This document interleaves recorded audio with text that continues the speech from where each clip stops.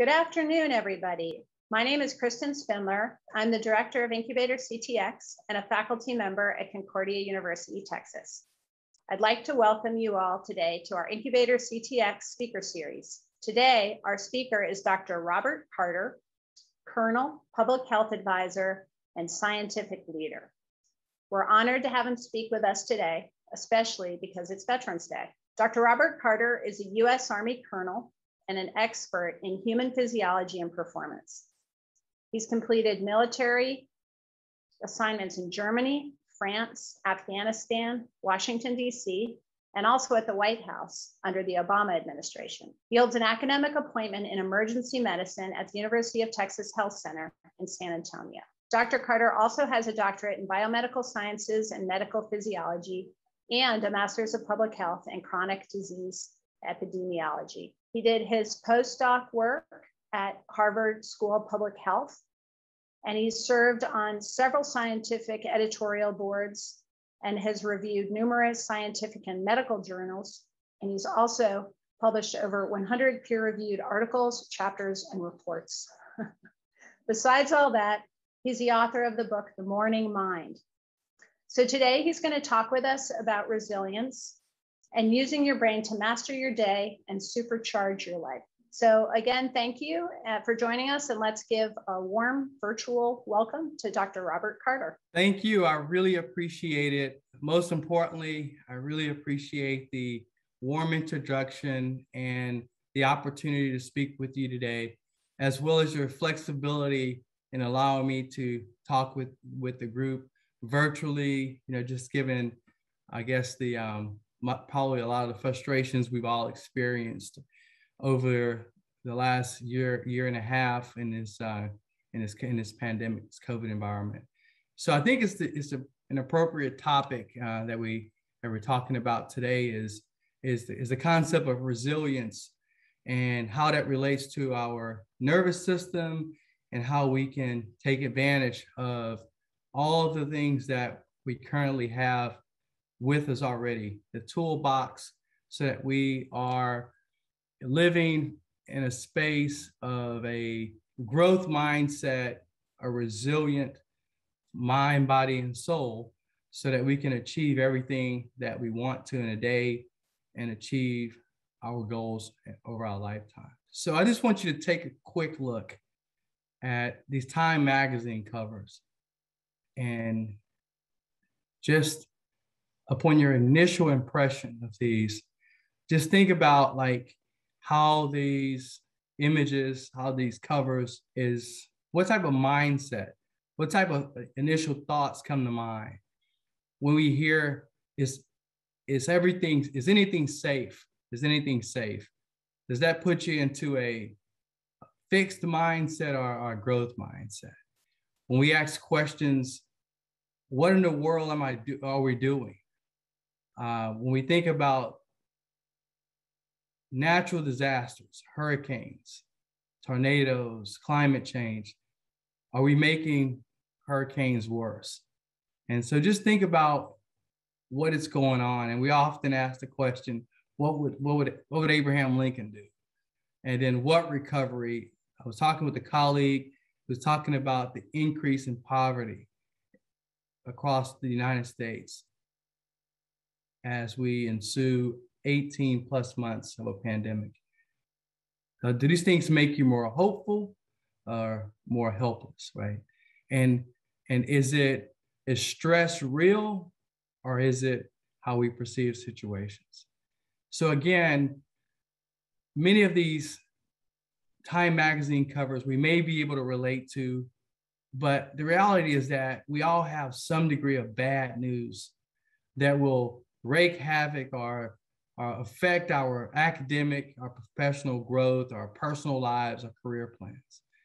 And throughout each of these milestones in life, you know, just we all experience some degree of doubt, joy, insecurity, uh, shame.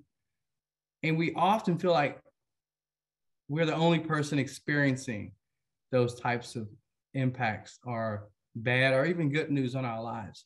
Because even sometimes, even good news may be not necessarily what we would like because often we, we we're planning our lives and and you know maybe you, you've gotten accepted to graduate school or you've gotten accepted uh, you know got to, to your university and you've planned and there was a university on your wish list that appeared out of nowhere and now you're like wow this is great news but the initial response at the level of the mind is to feel oh my god this is not what i expected because i I, I, I, planned this thing for the last three or four months. I know exactly what's going on. And now you get, even though it's good news, it's thrown a wrench into your into your plans. And so, how does that make you feel? So as I'm describing that, we've all experienced that um, that sense of of being overwhelmed. You know, I was basically in a, in a visceral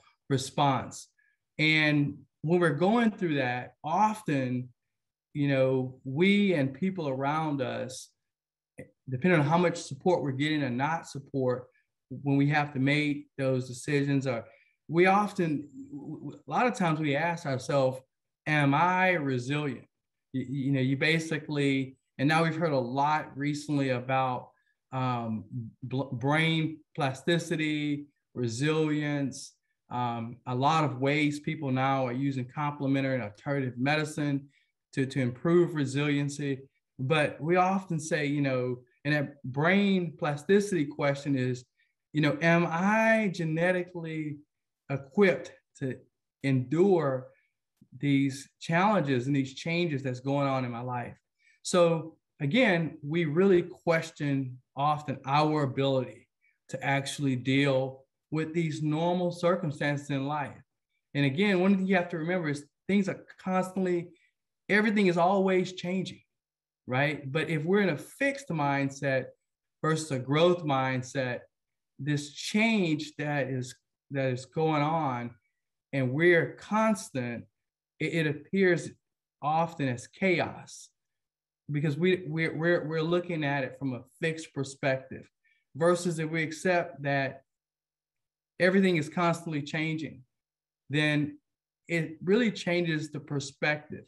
And so we'll, as we talk today, I'll share some secrets with you, you know, things that realities that you already know, you already have the tools, but sometimes putting things in perspective really can help you say, wow, you know, I thought, I thought that was the case, but you know, I'm just not quite sure. So I'll share a few secrets with you as we talk today. So the, the bottom line is that resilience is an innate human capability, is within your capacity. Yes, it's something that we learn and develop, but the reality is that it's, it's, it's, it's inside of us. So if you notice in my cover slide, I taught, I scratched out the word develop. And the reason why I did that is because resilience really came from the engineering field.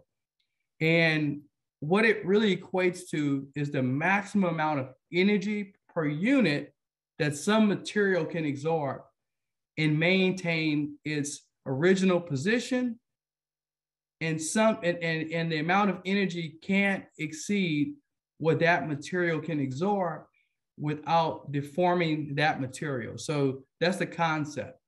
And in engineering that's referred to as yield stress value.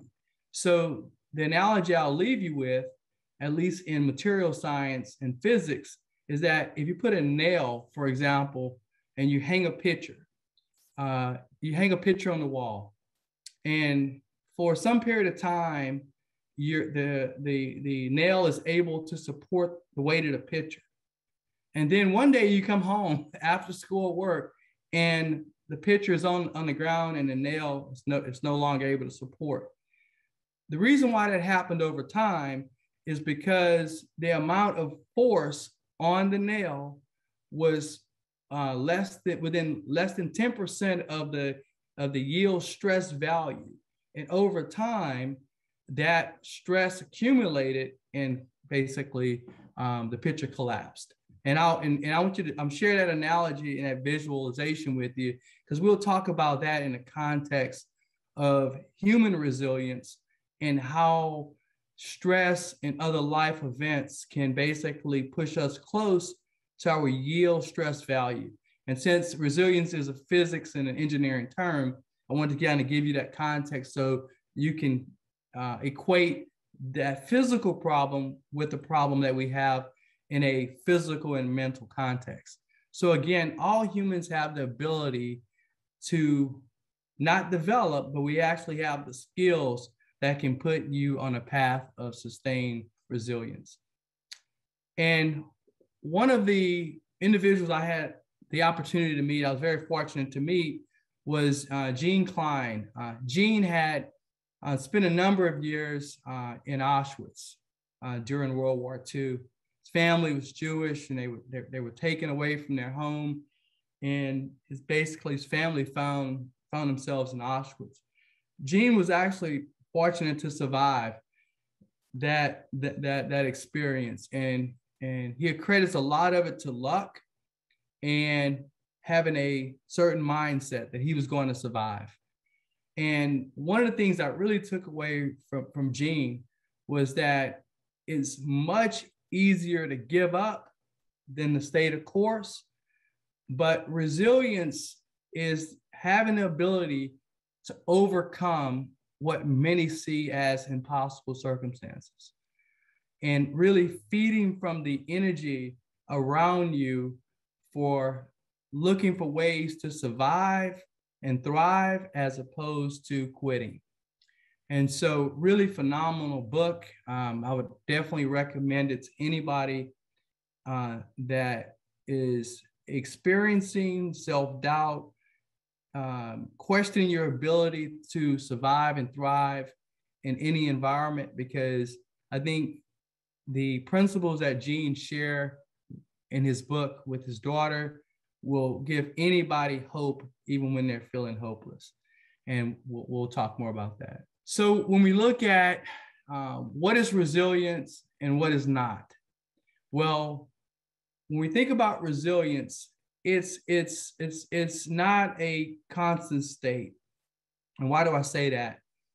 Because if we think about what is going on on a daily basis, we're oscillating or, or actually on a minute to minute or second to second basis, we're oscillating between the past, the present, and the future.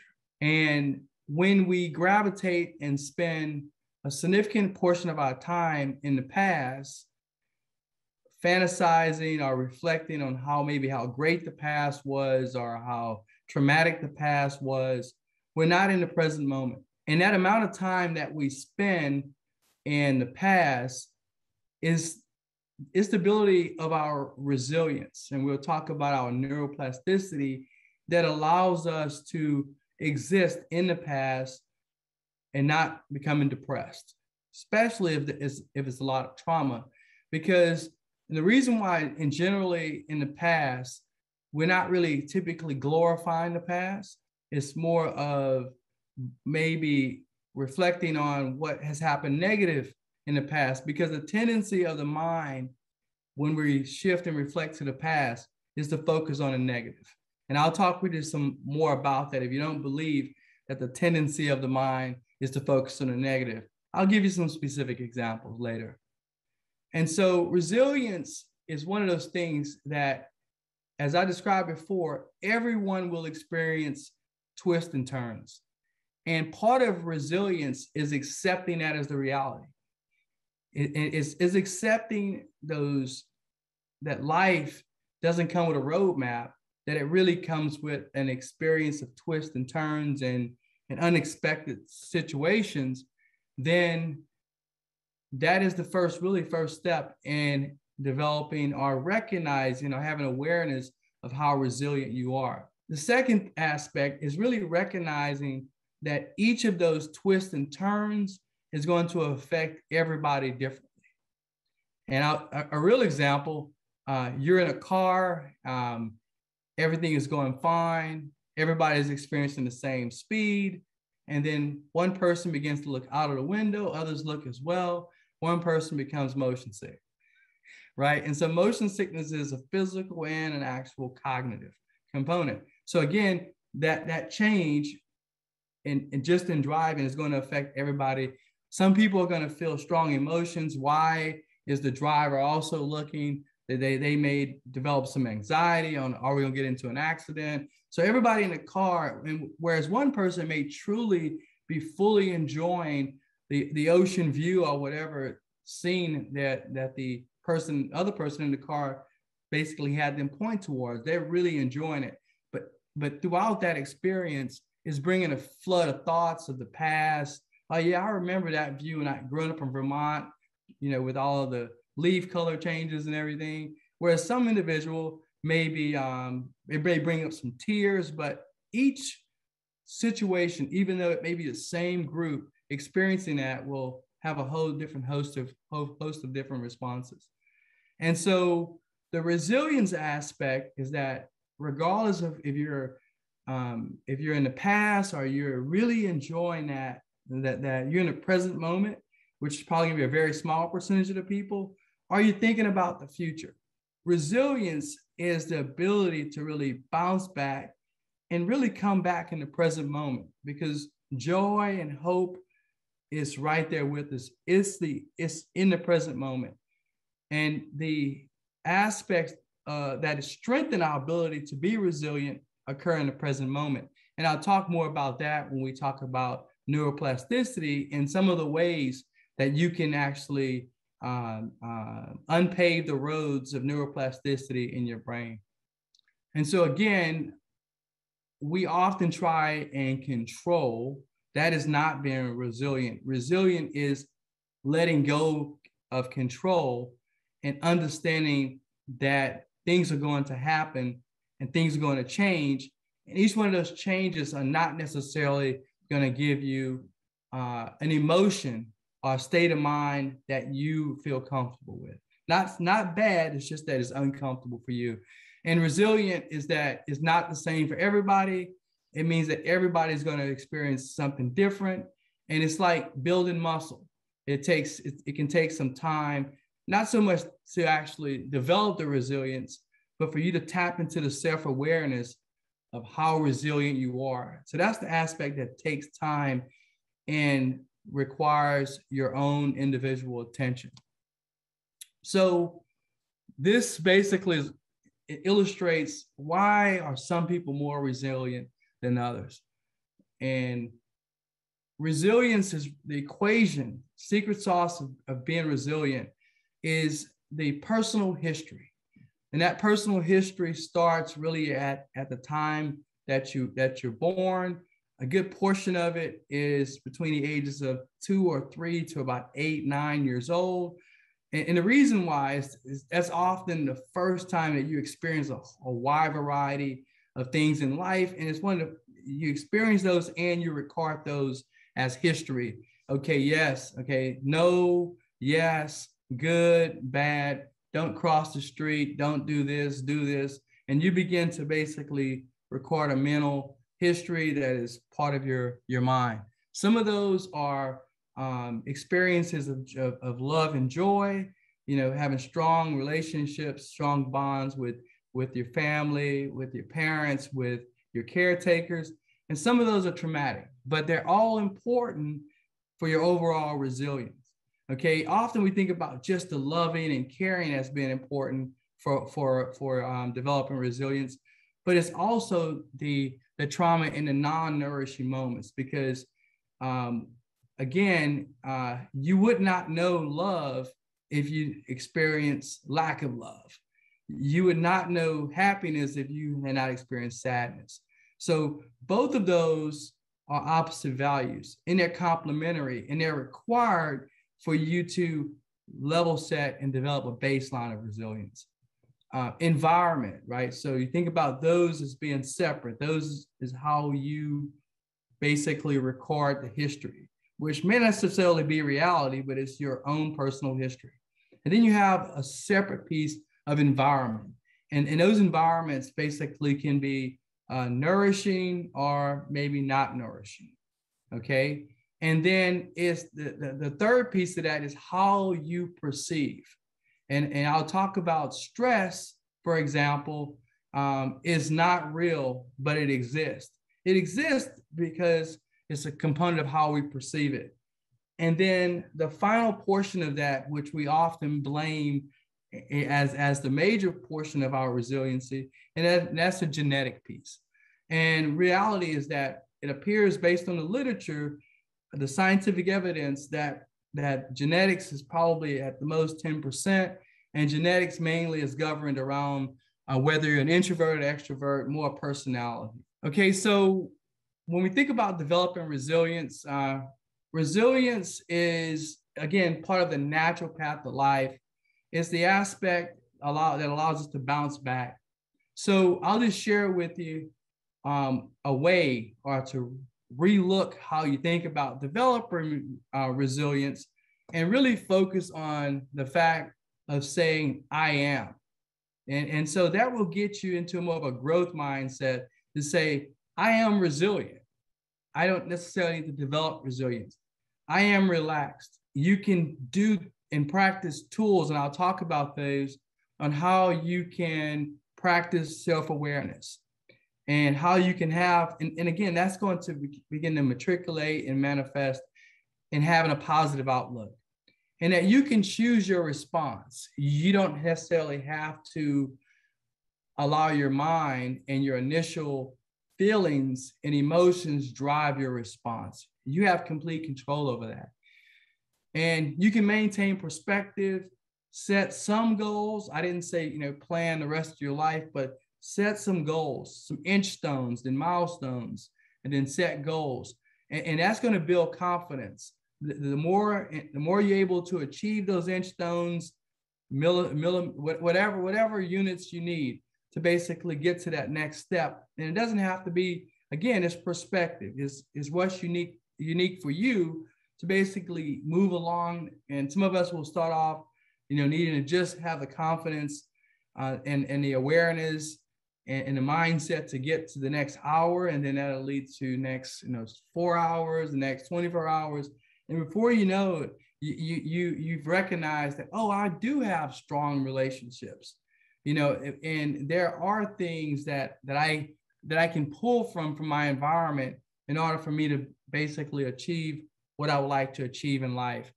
And one of the things that you have to be aware of is perception. This is something you know often we think, ah, you know, is my are my parents mad at me? Is my best friend mad at me? Um, and often when we talk to the person, they said, I wasn't mad. I wasn't even thinking about that. But everything and every action that they actually take, we perceive that as just building on that on that on that history of something is wrong. And again, that's the perception. That's the tendency of the mind to what focus on the negative.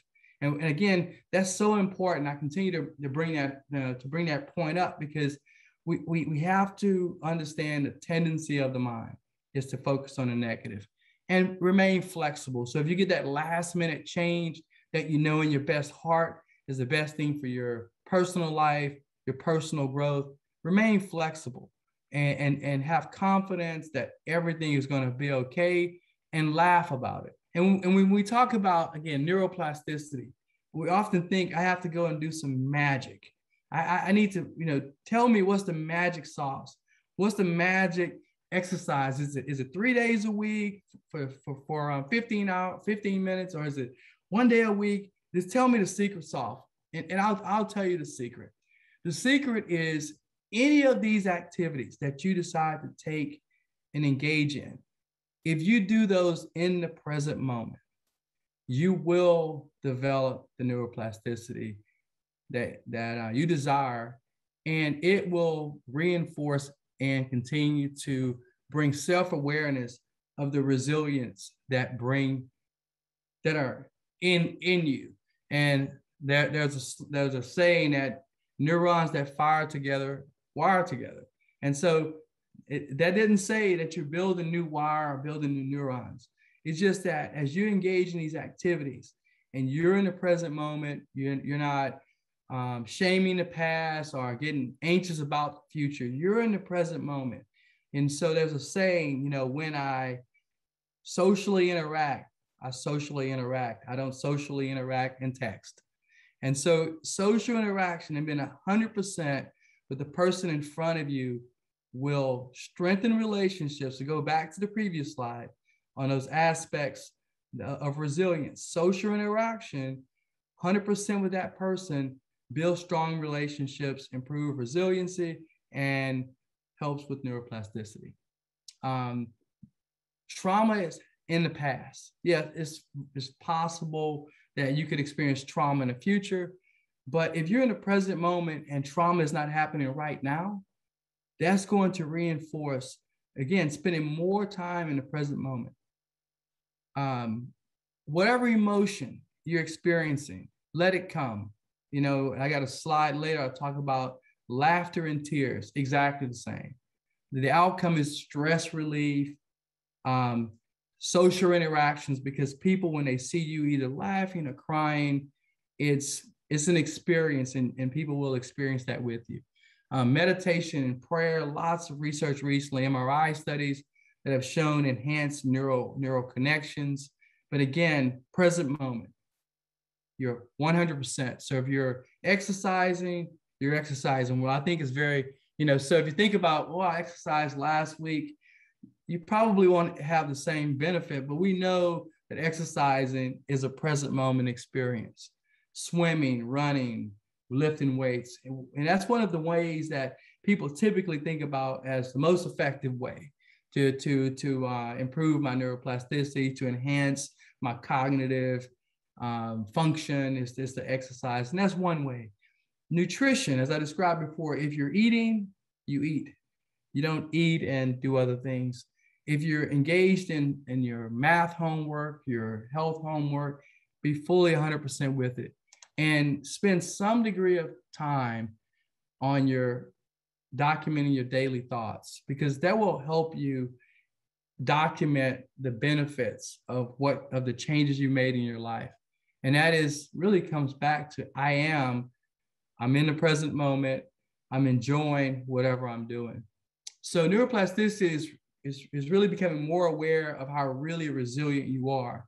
And, and, and that's a list of the things that will help you document and track that aspect and really look for opportunities to grow is, is really critical. So laughter and tears, uh, let them come. So this is one that in the in the Western in the Western society is um, much more socially acceptable to laugh in public and not as acceptable to cry. And often we associate um, crying with with shame. There's something wrong. I don't want anybody to know anything's wrong with me.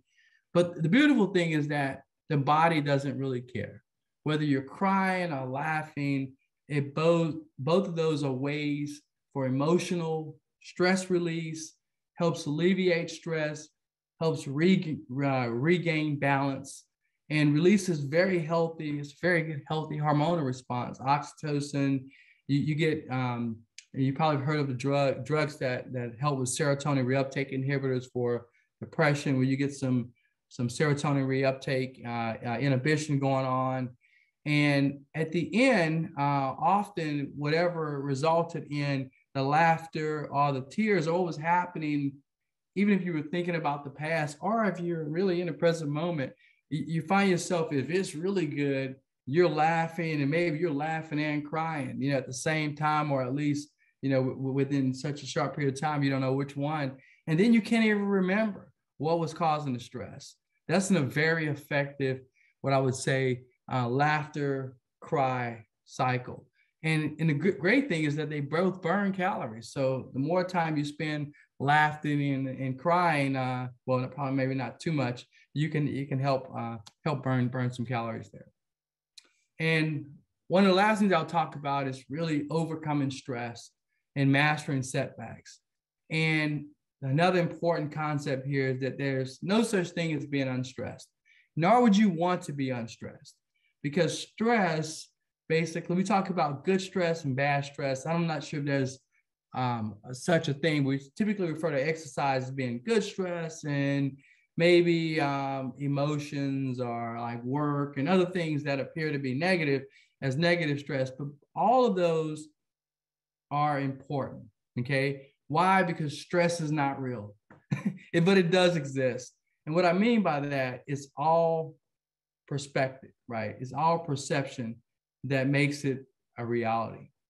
And so when we think about what does unstressed feel like and look like, it's normal breathing, normal muscle tension, not a lot of tension in the neck muscles, less pain because generally you probably will have some degree of pain, um, better sleeping, appetite, interest, uh, uh, interest in pleasurable things, and really awareness of stress and how life changes are impacting you. Remember, I described before, you got to remain flexible. You can't avoid life, but having that awareness of how stress, like you say, wow, today was really, um, really a rough day. I really feel tired. That's good. That's good. You, you know, you want to have that awareness. Lack of awareness is, uh, is, you know, it's, it's, it's, uh, it's, uh, it's been a long day and you've been in a lot of meetings. You're, you're an introvert and you go home and you work more and not having that awareness that wow that was a tough day. That's where you don't want to be. And, and i and i talk about that because we often lack the awareness of how the activities are affecting us from a cognitive perspective physical we know when we've gone out and ran you know 10 miles and we haven't done that in a while we're going to feel it. Our body's going to let us know. If we go to the gym and we haven't been there in a while and we go, you know, lift weights or we go do some yoga or we go do some stretching, we're gonna feel it. Our body's gonna basically give us a nice signal um, in the form of pain, but that pain, stress, or overstimulation doesn't always happen um, in the brain when it involves cognitive activities. Stress, when we think about the brain basically is well equipped. You know, humans evolved you know, with with stress, right? But if you go back to that initial discussion that we had of that yield stress value, when we begin to experience and exceed that, that's when we're more susceptible to falling into depression and other chronic, um, both mental and physical problems. So again, having awareness of when we are in this uh, sustained state of, of, I would say, negative the negative mindset in the past, it's just really good, you know, to uh, to have that awareness.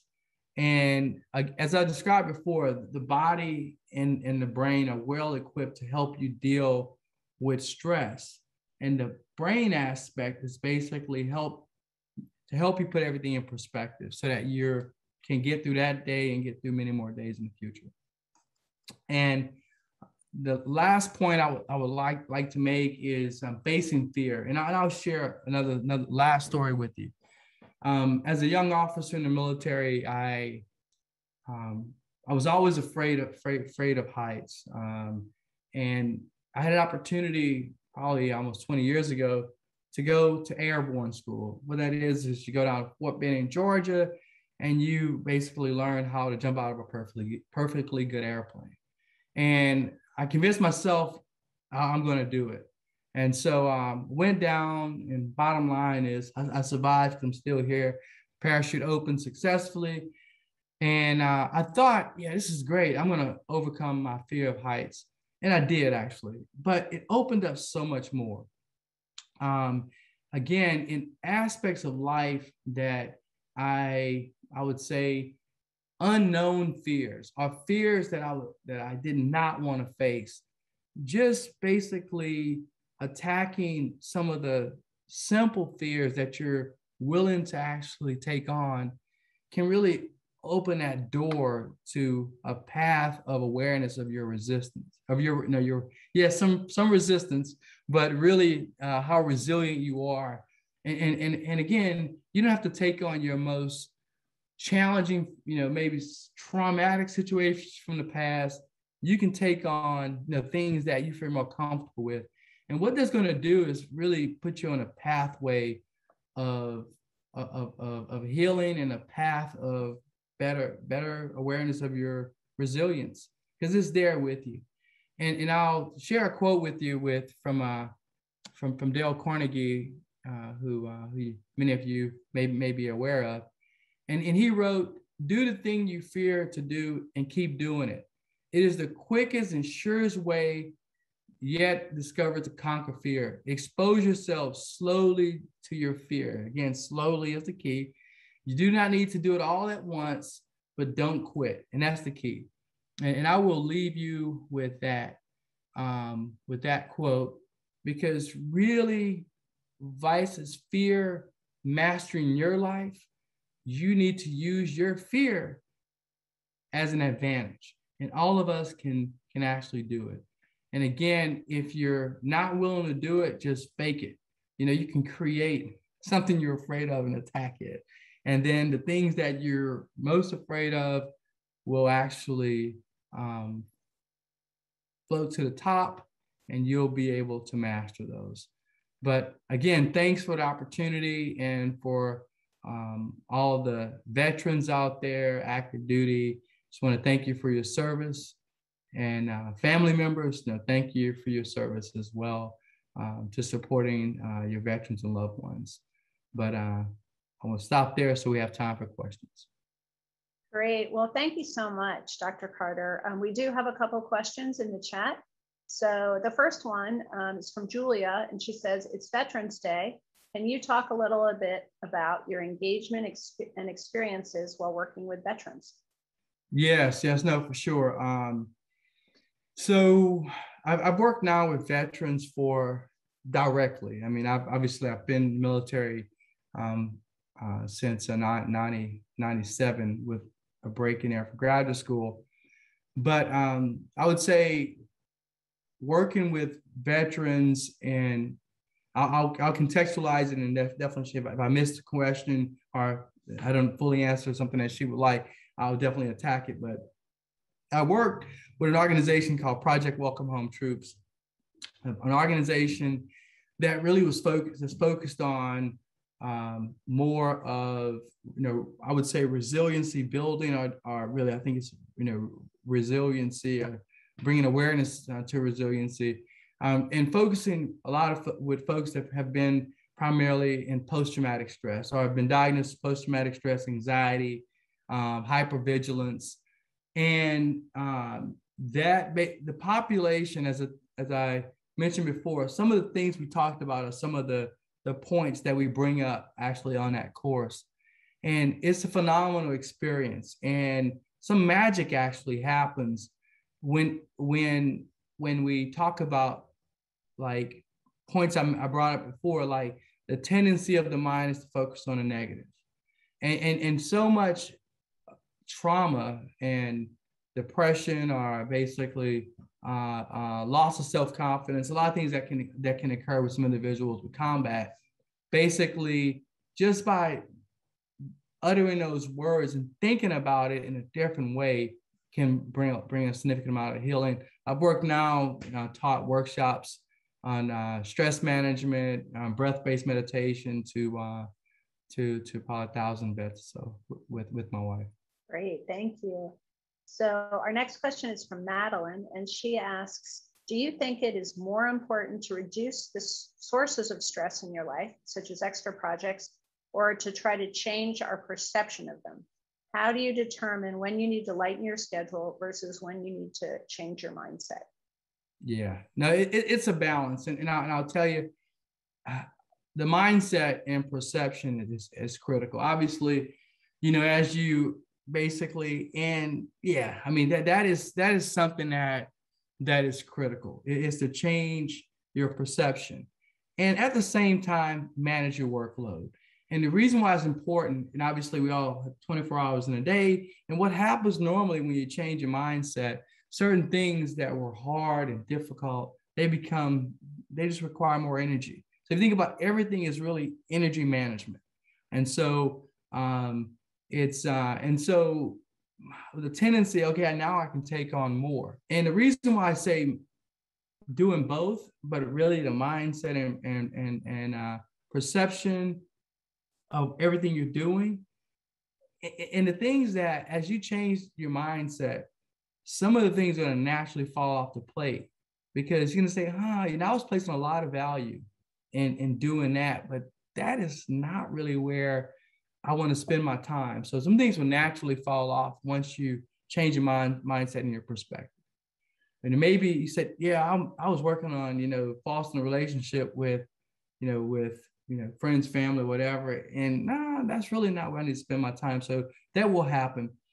Regulating the intake is also important because I described before, you're going to have twists and turns that's going to add things to your plate. You know, I was talking with a colleague and um, his mother passed away and he wasn't expecting to have to take care of his father, but now he has to um, drive to California, get his dad, sell his dad's, you know, his parents' place, his dad's place, and, and those type of things. You got to plan, uh, I would say, some emergency resilience. You, you can't tap all, in, all, all into it at once. You got to save um, some space for, you know, emergency reserve fund, Federal Reserve. Great. Um, so we have another question here um, from Tiana, and I, I, think the gist of it is that sometimes hardships, uh, looking back, they bring us strength, um, but maybe at the time they bring us sorrows. So, what what is you know what's the difference in perspective? Yeah, yeah, no, and, and that, that's a great question, and I'll tell you, um, that's why it's so important not to um, or, or at least to be awareness of how we're judging, you know, things that are happening. It's so easy to to uh, to sit there like at the coffee shop, you know, the coffee shop of your mind, and everything that happens in your life, you're judging it. You know, you're you're just constantly, you know, you see it and then you spend some time because the reality is that how you see it right now at this moment um, will either be as a positive thing or a negative thing in the past. Because it's, it's all going to the past. Everything that's happening right this moment is going to be in the past. It doesn't matter if it's five years in the past, second in the past, it has passed. And so that is important, you know, you know, to basically know, and that's another good point, is that to know that how you see something right at this moment is, is going to be different you know, and it's not going to be the same because new information will arrive and you say, oh, wow, you know, the way I thought about that was completely wrong. So don't waste your energy basically judging. And, and again, having that awareness, yes, we're going to still judge, but having awareness that I am judging, you know, it will actually is part of that, that growth mindset is to have the awareness, you know, of how your brain is functioning at that moment. Great. Um, the next question is about social media. So, what about stress or fears that are created virtually on social media? How do positive or negative tweets affect your resilience? And what can you do to protect yourself? Yeah, well, first of all, is to, uh, you know, if you're interested in a topic, um, do your own research. If it's something that's important to you, you know, something that's really evoking anxiety and fear, you know, like avoid it. you know, so so I have a daughter and she uh she uh she's like, oh, let's look up zombies. She's terrified of zombies. So I was like, why are we gonna go look zombies up so you can be terrified? And so I use that analogy just because you know, if uh if your number one thing you worry about is you know financial future, you know, you're gonna retire or you're you know trying to save for the future, and you you have three apps to watch the stock market every five minutes. Is that good or bad for you? It's bad, actually. Find something that you're less interested in because it's less likely to be invoking fear. How much control do you have over the stock market if you look at your app, you know, every five minutes? Zero, right? And so, so part of it is that you have to basically, you have to be aware of the things that's going to cause anxiety, meaning things that you're worried about in the future, and things that's going to trigger depression and, and traumatic events. And so um, that's how you manage it. You, you, you, you stay away from things that's going to, it goes back to that environment. Social media, the internet is an environment. If you go back to resilience, is, is, is putting yourself in situations that's going to either physical or virtually going to help your resilience or not right? Is it going to give you more neuroplasticity or not? So that should be the question that you're asking.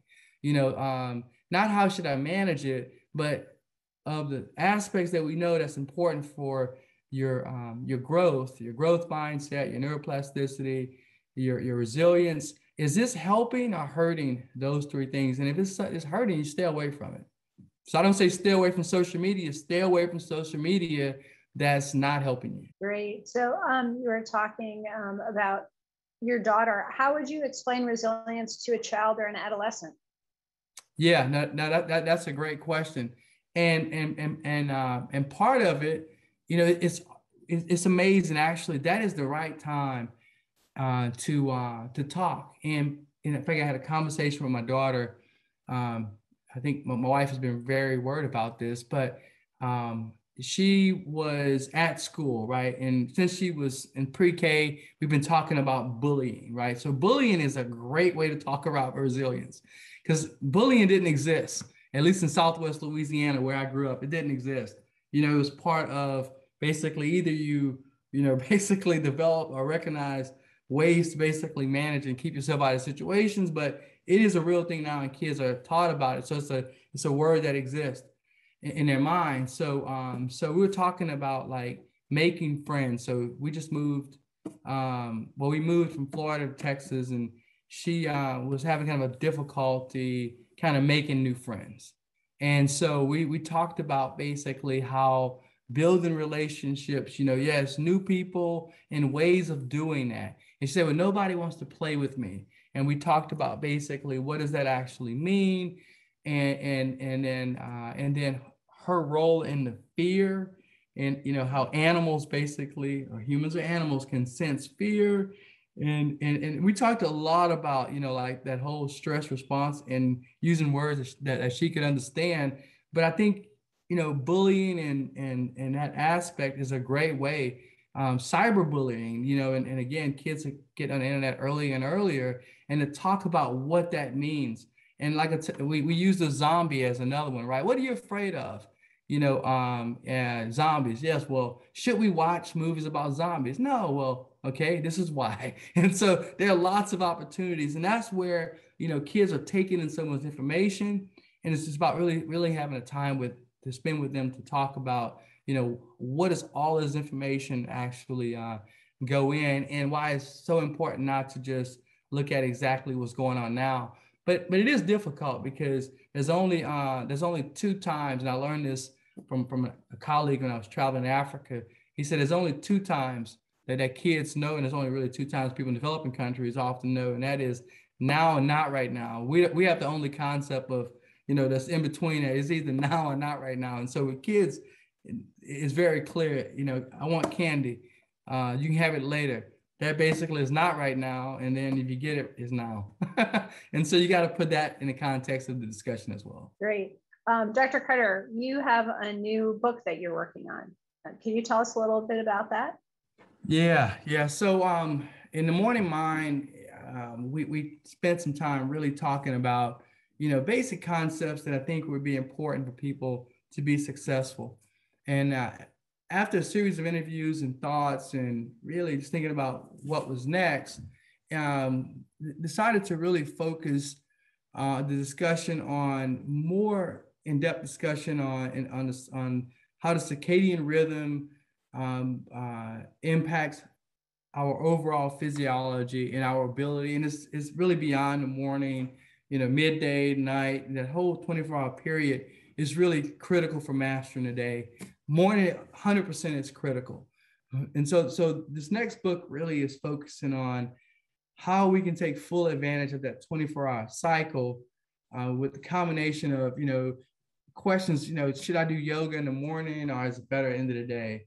You know, should I, um, should I eat, you know, like one, you know, I heard, you know, like there's, there's a few famous people that said, I only eat one time a day, you know, and, and, and, and thinking through the physiology and, and, and uh, of, of, eating one time a day. So and and so yeah, this book really is going to really open up and provide, I think, you know, some of the top questions that are out there that if you follow social media or you follow your latest journalists, they uh they talk about, you know, these things that realistically are not necessarily, you know, based in good science and not really well thought out. So I think the morning mind and success that we have with the morning mind. Um, I think everything I've heard, it, it, it's because it was evidence based, and we wrote it from a perspective where it, it, made sense. And it's been now translated in six languages, you know, um, plus English. And so that's the idea. I realized that, that there's a, a, a true need to actually have um, uh, those intriguing questions, but actually kind of laying them out in a way that, first of all, you explain and then you actually give give solutions. And so it's not just you know the theory and everything, but really saying, okay, yeah, and not saying everybody's wrong. That's the other key key piece. Not saying, oh, this is all wrong. You know, ch- take my diet, but it's really providing solutions that is actionable. You know, without having to do a lot of work. Like a talk about mindful eating. Like so, when you're eating, eat.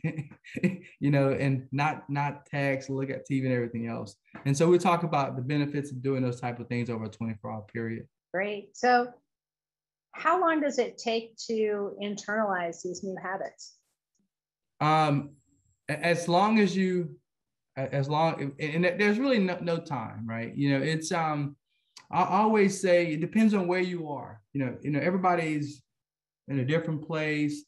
Um, uh, and every, we all need a little bit more work, you know, I mean, it, it ranges, right? So, so, um, and, and, and that's one of the things we actually do is uh, in this next book is actually provide, I would say, an assessment, you know, of physically where you are, you know, emotionally where you are, and spiritually where you are. And then you get, you know, magic number, and then you kind of can start from where you are. And I think that's one of the, the I think one of the things we attempt to do in the, in the morning mind, but I think we we're doing better in this next book because that was another aspect is you know like how do I you know where do I start and so thinking through, yeah, you know, everybody is working on a different aspect within those three buckets, you know, in a general sense.